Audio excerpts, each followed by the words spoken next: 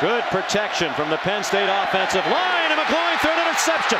Daimion Stafford brings it back to the.